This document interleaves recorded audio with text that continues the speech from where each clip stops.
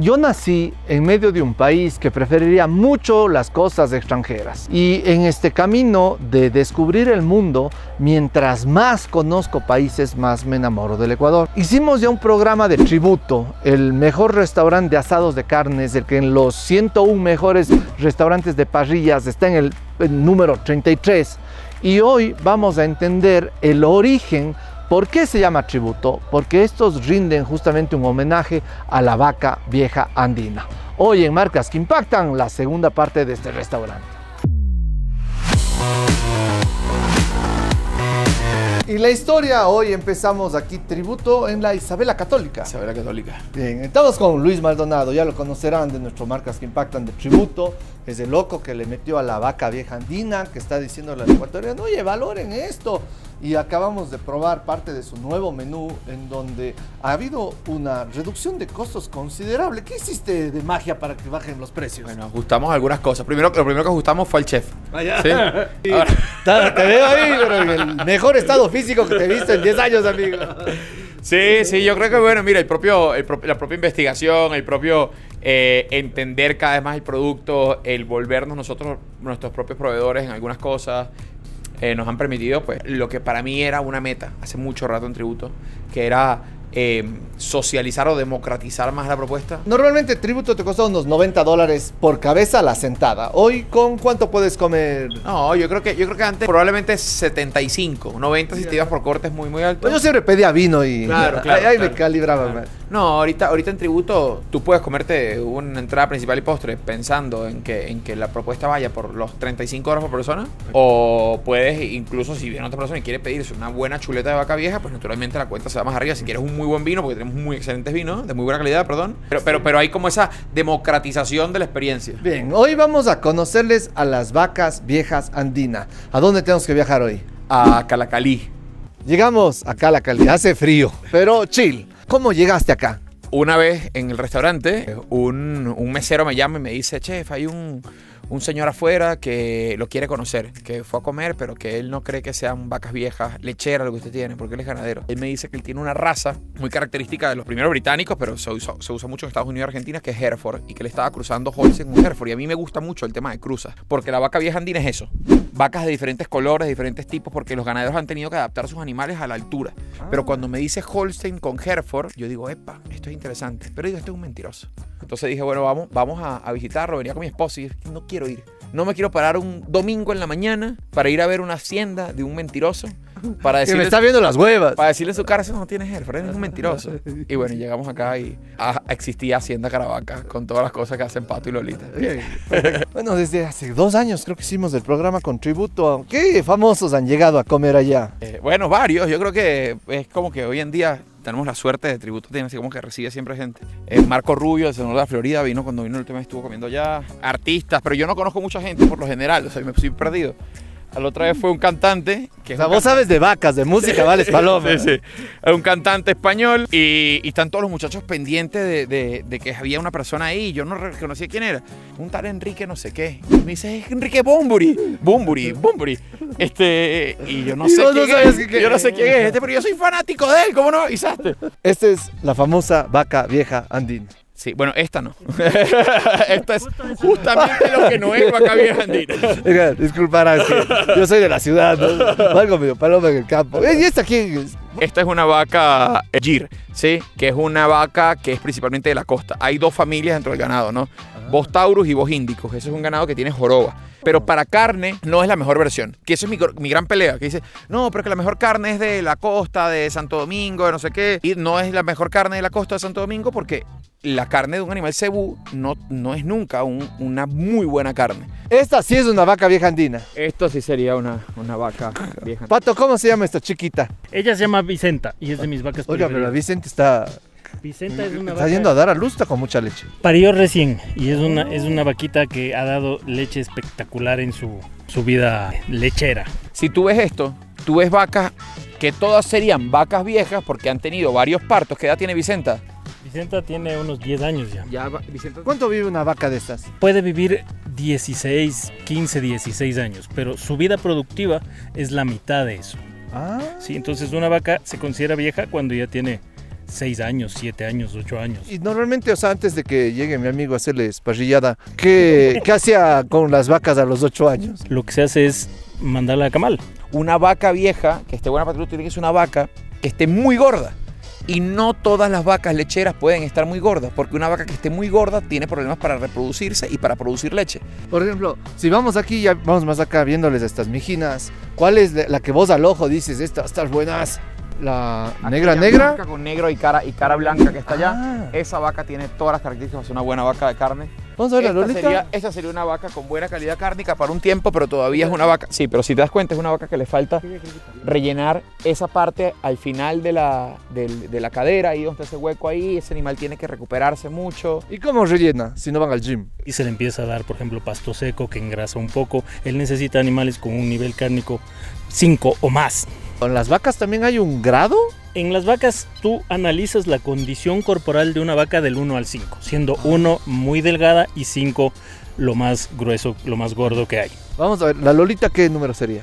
La Lolita ahorita puede estar en un 4, 4 y medio. Mira esta vaca que está acá. Esta vaca tiene una condición cárnica muy buena, pero esta vaca no es vaca vieja andina. ¿Qué Este- raza es esta? Este tiene, este tiene charolé. Al ser charolé es un animal que no tiene la capacidad de engrasar, no desarrolla grasa. Es un animal de puro músculo. Lolita es la esposa de Pato. Eh, Por eso se llama la vaca también Lolita. Ah, o sea, preferida. A ver, veía que no es normal que estén las vacas con sus terneritos. Sí, ahorita estás tú en, en una ganadería que estamos nosotros haciendo, que es que los animales se críen en libertad. Y los terneritos, pues, se crían con sus madres hasta 3, 4 meses y eso les ayuda también en su desarrollo para el futuro. O sea, crecen muchos más fuertes, más vigorosos, más sanos. Una cosa especial de Pato y Lolita, tienen una de las colecciones de Ardbeg, que es un whisky escocés de los más prestigiosos que hay en el mundo. Es la colección, según Luis Maldonado, la más grande de Latinoamérica. Y una de las cuestiones que los ecuatorianos también debemos de empezar a hacer es valoremos nuestros productos.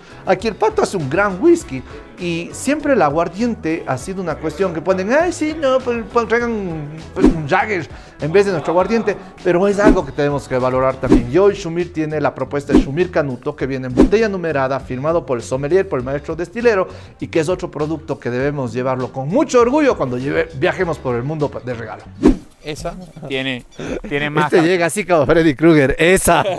Esa tiene más características de, de, de- ¿ves? Mírala cómo tiene ahí, mira la cola está un poco arrugada, ¿ves la cola cómo se arruga? Pero bueno, ya cuando esta vaca tenga problemas reproductivos, es un animal que para mí puede tener una muy buena vejez para transformarse en una vaca vieja andina. ¿Cuántas vacas necesitas al mes en la producción normal de tributo con el flujo de clientes normal? Yo calculo que una... Yo teniendo unas dos vacas semanales estoy relativamente tranquilo, pero ahora con el proyecto de voz de Guayaquil, que tenemos que llevar vacas viejas también para allá un poco, tenemos que subir a unas, a unas tres, cuatro vacas semanales, esperemos. Hijo de tanque. ¿Desde qué edad una vaca puede ser mamá? Generalmente depende, depende del peso. Sí, tú con 280, 300 kilos puedes inseminar. Eso lo logras de entre año y medio y dos años. ¿Pero y por qué inseminar no les deja tener placer libre y uh, libre albedrío? Porque el chef quiere Hereford. ¿Cómo le estás cagando a la man en su adolescencia? Eh, pregunta, ¿qué tan lejos estamos los ecuatorianos de que esta calidad de carne que puedes disfrutar en tributo se pueda vender y la vendan en un restaurante de estrellas Michelin en Nueva York, en Rusia, en Japón?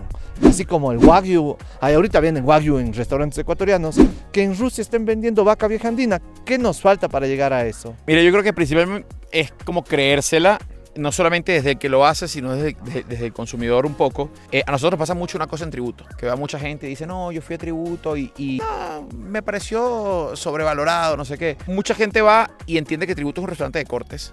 Aquí no hay tantas vacas como para yo tener un restaurante de cortes. No somos un restaurante para comerte un bife con papas, somos un restaurante para tener la experiencia de lo mejor de nosotros sería un chuletón, un chuletón naturalmente es un corte más costoso toda la experiencia va de la mano al aprovechamiento animal y todo el tema gastronómico. No somos un restaurante de parrilladas o de asados, somos un restaurante de gastronomía sobre, la, sobre el aprovechamiento del animal. Eh, para poder llegar a ese punto tenemos que comenzar a darle más oportunidad al tema de la vaca vieja andina desde todos los aspectos. Yo calculo que será de aquí unos 10 años cuando comencemos a cosechar frutos de que ya haya un reconocimiento de vaca vieja andina y que en otro país del mundo te sientes en una carta y abras y diga vaca vieja andina comiendo en, no sé, en cualquier país. Nueva York. Vean esta Pero esa vaca. tiene- esa vaca tiene Montbéliarde, ¿sí? Eso. Sí, una raza francesa Raza francesa. que resiste a la altura y por eso se, se metió en el, en- en- el Ecuador. Montbéliarde es como un primo eh, del Simmental, que es una muy buena raza alemana, que engrasa mucho y que es, es doble propósito, porque tiene muy buena calidad cárnica, entonces por eso tiene la característica de poder crecer y engordar. Este es Holstein como Montbéliarde. Si saben de vacas y tienen leches, y esto puede ser a, a mis parientes políticos, la familia Moncayo de la Nutri, a la familia Grijalva del Ordeño, que deben decir, oiga, que hay la bola.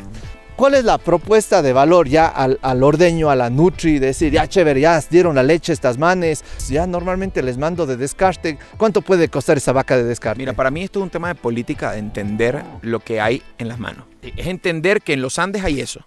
Vacas que tienen que valer 1.500 dólares. Lolita, en este cambio de visión de decir, uso las vacas para la leche y decir, no, ahora sé que pueden ser cárnicos. ¿Qué beneficios han visto ustedes ya directamente? Porque al final del cabo uno dice, sí, que chévere que tengan una mejor vida, que chévere que les estén en libre pastoreo, que no estén en una industria y encerradas, pero a la larga tiene que ser rentable para los ganaderos. ¿Qué les recomienda a alguien que esté dando a sus vaquitas solo el enfoque de la leche, ver este otro enfoque de mandarle a Luis Maldonado a tributo? Bueno, siempre la- el aporte de, de Luis Maldonado acá a la ganadería ha sido súper importante porque nos cambió nuestra forma de pensar. Pero el tema, el tema es que tú quieres cambiar tu forma de pensar y decir, bueno, ahora estamos haciendo esto, hay esta otra opción y puede llegar a pasar que a pesar de que tú le des el cuidado, le des todos los mimos, llegas al camal, le desvisten, le sacan el cuero y que y no tiene la grasa amarilla que es la que está buscando él. Entonces no es tan, tan fácil de que bueno, ahora sí llega el, el chef Luis y entonces te va a pagar tres, cuatro veces más. Sí y no. O sea, hay que... Ahora, igual ganamos, igual Sí. aprendemos. A la larga termina siendo una cuestión que estamos en una etapa temprana del negocio, hay una oportunidad. Algún rato esperemos que la San Francisco, la UDA o la UDLA hagan una investigación para ver cómo se saca esto, pero parte del precio que se paga tres o cuatro veces más es porque algunas de las vacas no van a llegar a la calidad que Luis permite. Exacto. Cuando uno como cuencano sabe que le quieren es porque hay mote. ¿Cómo, cómo así? No es tan común aquí en Quito servir tanto mote. Sí, no es tan común, pero bueno, yo, mis orígenes son cañaris, mi padre es azogueño, se llama René Calle. Por Dios, mándale un saludo porque es tu fan. Ay, un saludo a Renecito, a Samaraipa con unas cascaritas. Si ven desde atrás todo la, todo este, ¿qué es un barcito, un lounge? Este, no, este es un sitio que lo hemos creado con Patricio, mi esposo, este, con el sentido de dar unas experiencias de catas de whisky. Él es un experto en el tema del, del whisky, te puede dar experiencia. Pero verá, yo también me encanta, paso borracho tomando whisky. De pasar borracho tomar whisky a ser experto hay una gran diferencia. Bueno. ¿Qué le acredita como experto en whisky? A ver, ¿cuántos años de, de, de beber tiene? Ejerciendo desde que era menor de edad, loco, desde los 16. ¿Y de dónde sale ese amor al whisky? El amor al whisky sale sobre todo, sí, tomar me gusta, pero siempre me gustaba saber cómo se hace. Y ahora pues ya nos dedicamos a hacer whisky, destilamos, tenemos destilería. Que es en eventos privados, o sea. Sí, sí, pero el, el whisky ya está a, a la venta en, en ciertos sitios. Ya lo vamos a ver luego. ¿Podemos ir a ver cómo se lo vamos- hace? Claro que sí, Bien, ya lo vamos a claro. ver. Si ven las marcas que tienen aquí, tienes ese Santa Teresa, que es un ron venezolano espectacular. Al man le llegaron a invadir sus tierras, casi que a robarles, y les dio trabajo a estas personas y luego les puso a jugar rugby. La historia de Santa Teresa es espectacular. Tienes Johnny Walker, tienes Chivas, miren Jack Daniels, todas estas opciones de Glen Morangi. Y lo importante es ir entendiendo que tu marca debe evocar algo. En este capítulo vamos a dar cinco búsquedas fonéticas gratuitas, cuestan 80 dólares y es para ver si es que tu marca se puede registrar o no. Escribe eh, al link en la descripción o en el primer comentario y aprovecha esta oportunidad. Vamos a elegir solo cinco. Da y cuéntanos lo tuyo a ver si es que te podemos ayudar. Pues el primer paso para hacer una marca que impacta es que tu marca esté registrada y si lo haces en Ulpic mucho mejor. Bueno, Pato, ¿qué tipo de barril es este? Porque he oído que el barril es muy importante en el añejamiento. Exactamente. Este es un barril de roble francés que originalmente añejó vino tinto. Ya. Y luego yo puse aquí el whisky a añejar tres años. Entonces eso es lo que vamos a probar este momento. Hay que despertarle.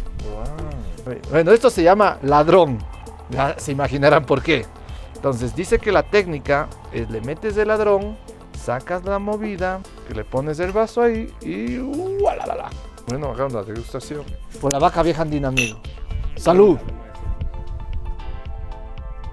O sea, el rango del bueno, bueno, bueno, bueno, bueno, buenazo. Vamos a lanzar el lanzamiento mundial. ¿Va a haber el whisky del pato en tributo, sí o no? Sí, sí, sí, sí. Hace rato estamos esperando por, por este señor. Oye, ¿por qué no mandan el whisky?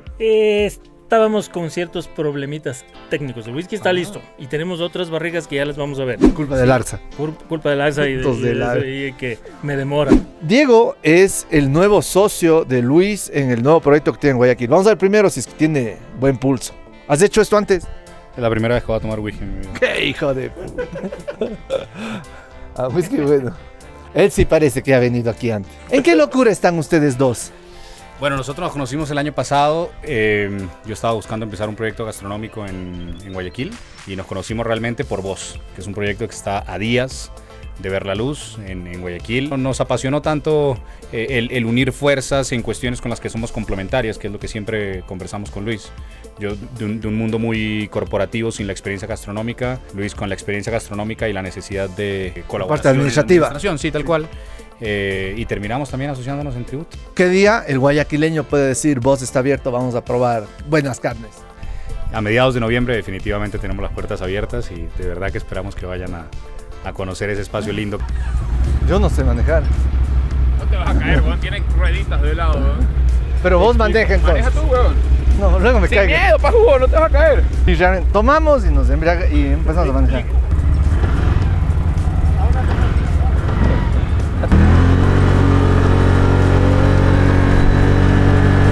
Una vez de chiquito sí me cayó uno de estos.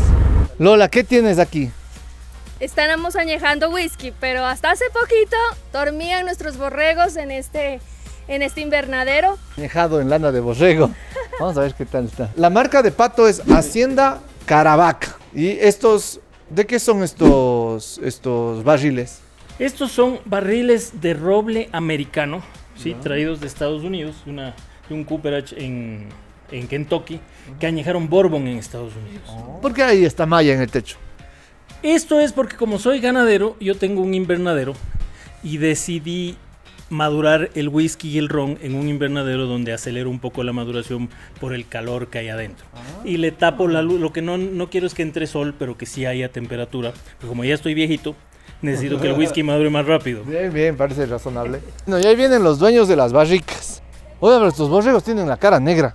Corra, corra, dele, dele. Arre, arre. Oye, así como hay vaca vieja andina, puede haber borrego viejo andino.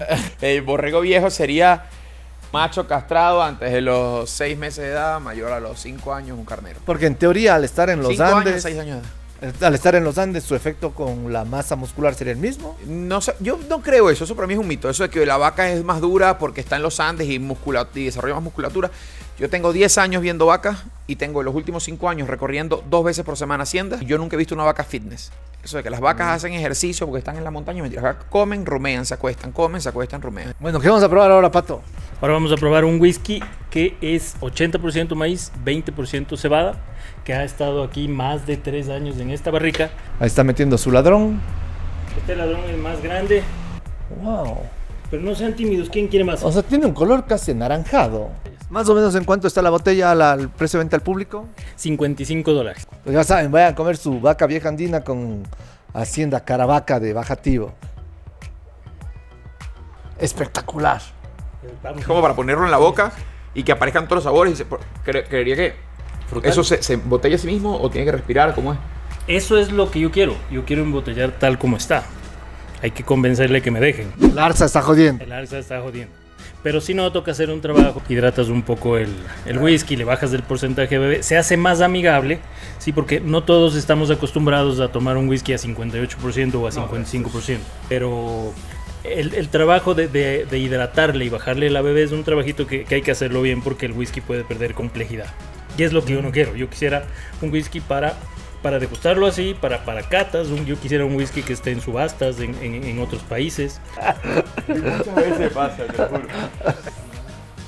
Estamos grabando. este sí me llegó al hígado. Pato, ¿y este qué es? Este es un roncito que también tiene ya más de ¿De tres años. Es ron de mieles. Sí, el ron normalmente es hecho de melaza. La melaza es un subproducto de la fabricación del azúcar. A la final es un desecho del azúcar. Las mieles son el jugo de caña cocido, hecho miel. Entonces estás haciendo un ron a partir de un producto de consumo humano, no de un rechazo. Ah, hay gente que dice que el ron les hace pelear. ¿Eso es por... ¿Hay alguna cuestión del ron o problemas psicológicos de la infancia? No, tomen, tomen buen ron. y no pasa nada. Oye, este también huele buenazo. Mm, Me dices que en tributo actualmente puede ser unas 4 o 5 vacas al mes. Eh, ahora que venga vos en Guayaquil, podrían llegar tal vez unas 8, 10. El rato que salen ya las vacas de aquí, van al camal. ¿Cómo tú sigues ese proceso? ¿Hay alguna parte en donde tú tienes que estar pilas, ojo, ojo al piojo? Todo, todo, todo. Estoy ahí desde las 4 de la mañana, ya salimos, por lo general me toca buscar siempre algún chico del equipo. En cada faena busco a uno que se empape de sacrificio y entienda todo lo que hay tras el sacrificio de una vaca y porque es importante para nosotros entender eso de tributo al sacrificio. A las 5 de la mañana estamos ahí ya en el camal, a las 6 comienza la faena y estamos pendientes de todo el proceso, desde que la vaca va caminando, de que no se electrocute, de que no le a- la, la estresen, porque es muy importante para nosotros para garantizar que estamos llevando algo muy bueno a la mesa, ¿no? Ahí entiendes, pero tu pasión de que el tributo no es solo un eslogan de marketing. Tú estás viviendo en carne viva el tema que hasta el final tú estás con las vacas. él crió una vaca por 14 años, ¿sí? Después de que él crió esa vaca por 14 años, yo tengo que garantizar que le estoy dando una muerte digna y de mucho cuidado a ese animal. No solo por eso, es porque si la muerte no es así, puedo tener una vaca muy buena, muy buena. Pero si el animal se estresó, ese animal va a ser una carne dura porque el nivel de estrés y la glucólisis va a hacer que ese animal no tenga calidad para carne y puedo tener una chuleta marmoleada de un animal perfecto en vida. Pero si la muerte no fue tan cuidada como toda alimentación o como el momento después de la parrilla, si la muerte, si ese eslabón de la cadena se rompió, tengo una carne mala. Este era tanque de leche. Ahora es tanque de ron. Este era el tanque, el enfriador de leche donde se mantenía la leche. Ahora es donde fermentamos el ron y donde vamos a fermentar el, el whisky. ¿Puedo leer? Claro que sí. Ay, huele buenazo. Pero huele como a cerveza artesanal. Exactamente. Aquí lo que hicimos, este es un ron de, de miel de caña. Lo que hacemos es diluirlo con agua y este es el efecto de la levadura. Lo que ustedes están viendo es la levadura trabajando. ¿Qué está haciendo? Comiéndose el azúcar de la caña de azúcar y convirtiéndola en alcohol. Ah, bueno, y si ven acá atrás, hay un alambique. ¿Dónde te compraste esto? Este es un alambique español que lo, importamos. Todo en cobre. Cuando le oyes a Luis la pasión con la que habla de las vacas, dices realmente este man no solo tiene un eslogan de marketing en su restaurante, sino que vive en carne propia, de corazón, el darles una vida digna, una muerte digna y un correcto manejo en la mesa a sus vacas. Es raro esto, alguien que sea tan enamorado de las vacas que dices, chuta, ¿qué le habrá pasado de chiquito? Pero cuando ves su concepto y todo lo que está haciendo por este país, de que el ecuatoriano valore este campo, valore a sus vacas y que está transformando la vida de toda la gente que está alrededor de esto, habrá, acordaránse de esto unos 20, 30 años, tendremos a Luis Maldonado como sus extranjeros, igual que Humboldt, que hizo que nos enamoremos más de esta patria y que la valoremos mucho más. A veces el haber nacido en medio de tantos lujos, y no hablo de oro o riqueza, sino de naturaleza, de buena comida y de cuestiones de la tierra que nacen muy fácil, hace que no las apreciemos tanto como deberíamos. Pero el rato que los ecuatorianos nos demos cuenta que vivimos en una cuna de oro de naturaleza, cambiarán muchas de las cosas a futuro. Si nacimos en un Ecuador pobre y corrupto no es nuestra culpa, pero si nos morimos en un Ecuador pobre y corrupto, eso sí, va a ser nuestra culpa. Y aquí te dejo otro gran capítulo para que te sigas subiendo la autoestima nacional.